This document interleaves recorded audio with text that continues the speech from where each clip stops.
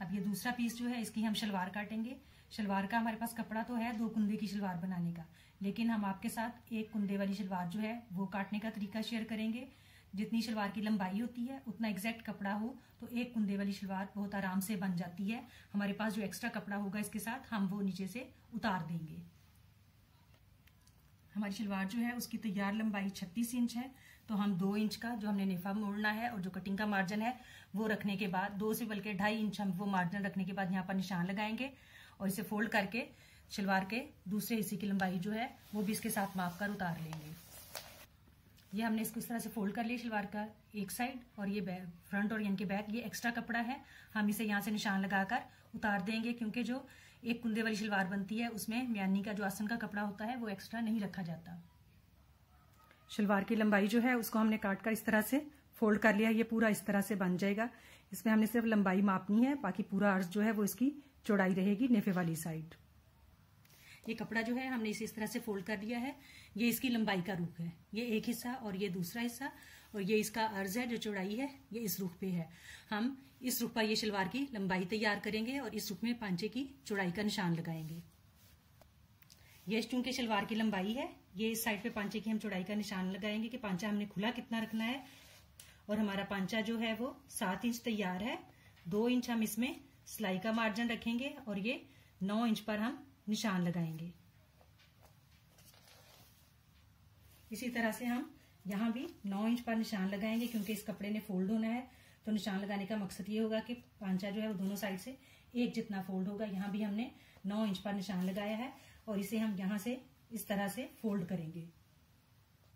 नौ inch पर दोनों तरफ़ में हमने निशान लगाकर इसको फोल्ड किया और हम डिफरेंट जगहों से इस तरह से मैयर कर लेंगे कि हमने पूरा नौ इंच ही फोल्ड किया है। इस तरह से आपने सारा मैयर कर लेना है। अब हमने इसको तिरछा फोल्ड करना है। उसके लिए हम पांचे का ये कोना और इसके बिल्कुल ऑपोजिट साइड पे जो दूसरा कोना है, ये बिल्कुल तिरछा इस तरह से फोल्ड होगा।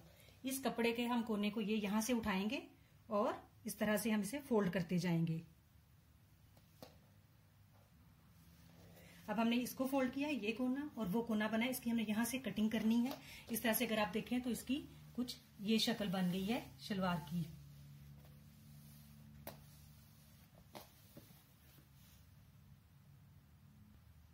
अब हम इसकी यहाँ से पूरी जो तिरछी है, इस रेब में इसकी कटिंग कर देंगे। आप चाहें तो इस पर यहाँ पर स्थिति भी फेर सकते हैं, लेकिन चूँकि ये कॉटन का कपड़ा है और हमारा एक्सपीरियंस है तो इस वजह से हम इसे बगैर स्त्री की यही काट रहे हैं।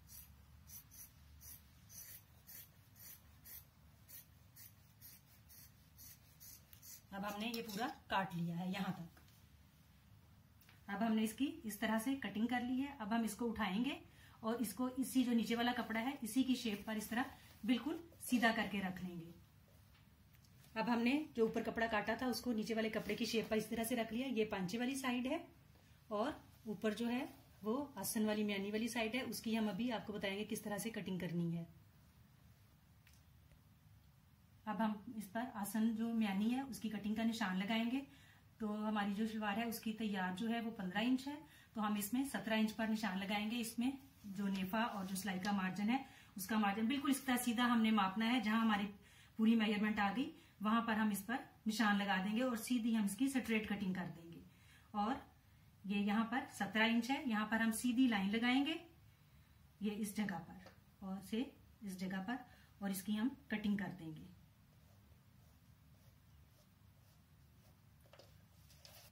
अब हमने जो सत्रह इंच का ये निशान लगाया है लंबाई का, इसको हम बिल्कुल सीधा काट देंगे।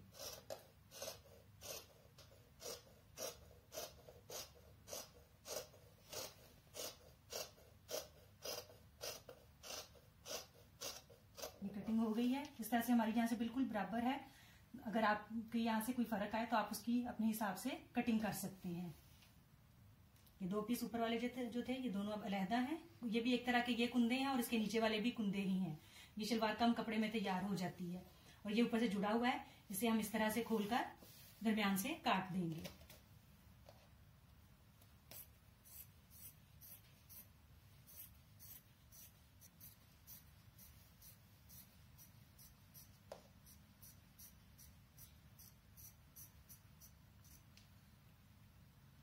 इसकी पूरी कटिंग हो गई है। इसकी ये दो ऊपर वाले जो कुंदे दो नीचे कुंदे जुड़े हुए पाँचों के साथ ही, वहाँ सिलाई की ज़रूरत नहीं, और ये दो कुंदे हम इसके साथ जोड़ेंगे। और ये नेफा है इस साइड पर। और ये नीचे पाँचों वाली वो साइड है कि जब हम इसकी सिलाई करेंगे, वो भी हम आपके साथ शेयर करेंगे कि किस तरह से करते हैं। इसकी सिलाई भी काफ़ी सिंपल है। और कमीज जो है, वो हमने काट लिए हैं। अब हम इसकी जो स्टिचिंग है, वो आपके साथ नेक्स्ट वीडियो में शेयर करेंगे। उम्मीद है कि आपको हमारी ये वीडियो पसंद आएगी। शुक्रिया।